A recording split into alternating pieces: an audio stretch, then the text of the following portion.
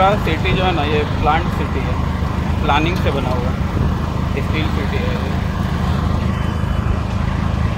और हर सेक्टर का अपना मार्केट है।